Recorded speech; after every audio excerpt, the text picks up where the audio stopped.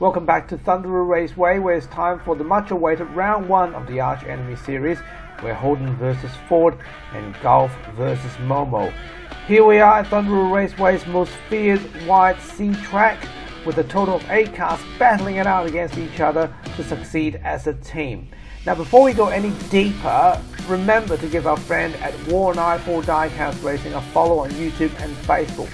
Warren I4, your number one stop for diecast racing series and tournaments, with the collective cast personalities in Clayton Papadopoulos, Chuck Maverick, Scooter Douglas, and Big C. You're sure to find some best competitions around. Now, before we start, here are some of the rules and how it works from now on on team matches. First, team matches will be based on points per lap, with four laps every round. First position gets 10 points, second gets 9, third gets 8, fourth gets 7, fifth gets 4, sixth gets 3, 7 gets 2, and the last one, 8, gets a big fat 0. Second rule, the car that flipped over on its side or over its roof after stationary will be out of the race. If they flip during motion but manage to get back on the wheels before stopping, they will not be out. Third, if the car flipped over after entering the finishing area, they won't be eliminated. Fourth and last rule, if drivers are out of the race, they will be back in the next round. Now, there will be bonus rounds and maybe, okay, just maybe, Easter eggs for the best and worst races, which can increase points. So stay tuned to the channel to find out. Let's begin with round one with Australia's favourite, and that is the Arch Enemy Series V8 Supercar Championship where Holden versus Ford. Both teams are made up of four drivers from individual teams, as both sides are getting ready for the race and final tuning and testing. Here are the list of drivers and their cars from Team Holden and Team Ford.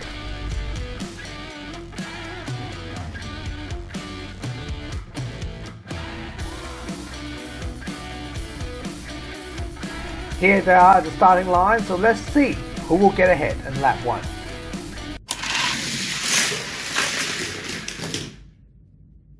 It's only lap 1 and things are heating up. John Hanson from Holden team took the lead against Rhodri Williams from Ford team as he loses control and Ray Miller has flipped over, pushed off the track as Justin Young also failed to pass second term and crashed out.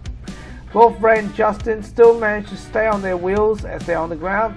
Time for lap 2 with Holden leading. Will Ford manage to catch up?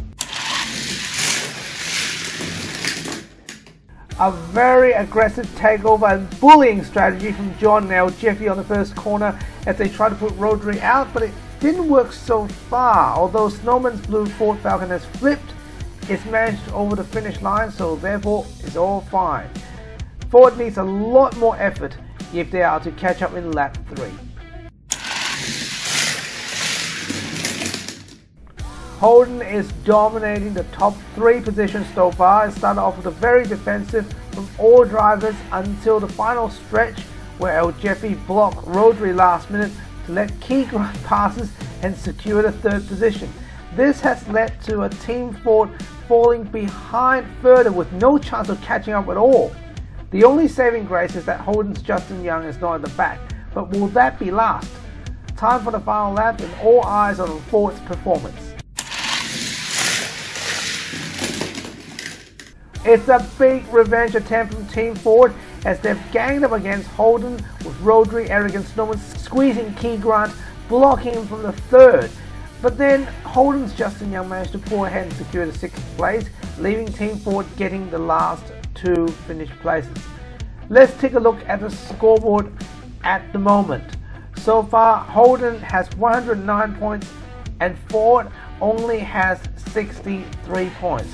A lot more efforts is needed from Team Ford if they are to get ahead. Team Holden is having a clean lead against Team Ford in round one, so both teams are going through the maintenance and it's clear that Holden's having a good run. But Ford's been struggling and the manager isn't impressed at all, especially with Ray Miller's Red Falcon, which mainly some more tuning and engine adjustments before round two, where more challenges are coming. The spectators at the raceway are definitely enjoying the thrills of racing, so let's look at the second group of Arch Enemy Series with eight cars forming two teams, Gulf versus Momo. Here they are the drivers from both teams.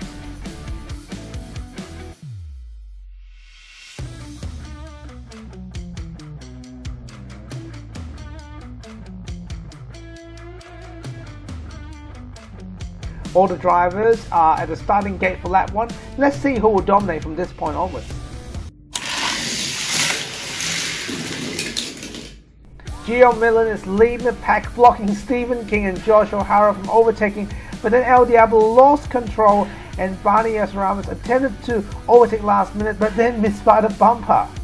This could be a very bad result for Team Gulf, but with lap 2 coming, will this be a wake-up call for the team?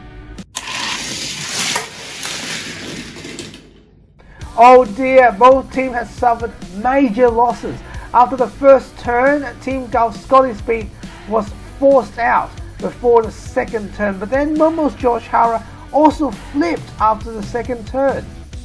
So meanwhile, Gio and Steven still managed to hold their leads, but it doesn't look good for Momo, that's for sure, in fact for both teams. Time for lap 3, the question now is, would it get even more brutal?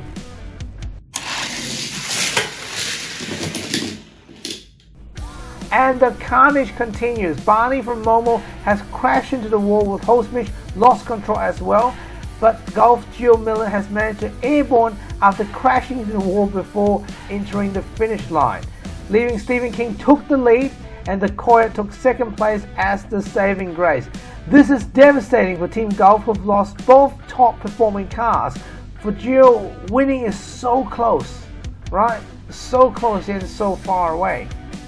So right now, Team Momo's presence is dominating this round, but can the remaining Gulf teams fendering them off? It's time for the final lap, all will be revealed.